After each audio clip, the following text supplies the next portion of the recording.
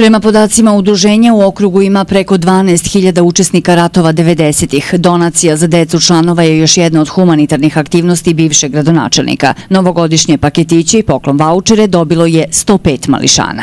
Pa imamo mi veći broj dece, međutim ovde se tražio jedan određeni uzrast do 10 i 12 godina i mi smo ovaj, 14 dece imali za ovaj, prijem paketića, međutim da li zbog guže i zbog ovog nevremena, evo sad mi javljaju da neki dolazi još uvek, znači došlo je sedmoro, treba još sedmoro da preuzmu paketiće.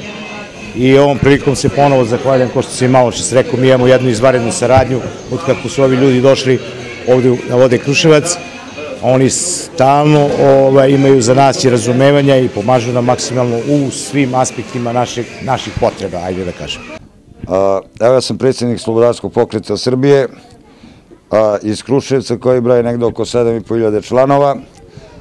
S obzirom u ovo teško vreme korone i svega, naš sugrađanin Bata Gašić je donirao paketići deci od 2010 do pa nadalje, znači od 10 godine pa nadalje, svi koji su se prijavili, znači ja sam zvao, tu su 56 deteta, zahvaljujem se Bati na, na ovakvom lepom gestu što je odradio, jer vidim deca koliko su veseli i sretna ovdje.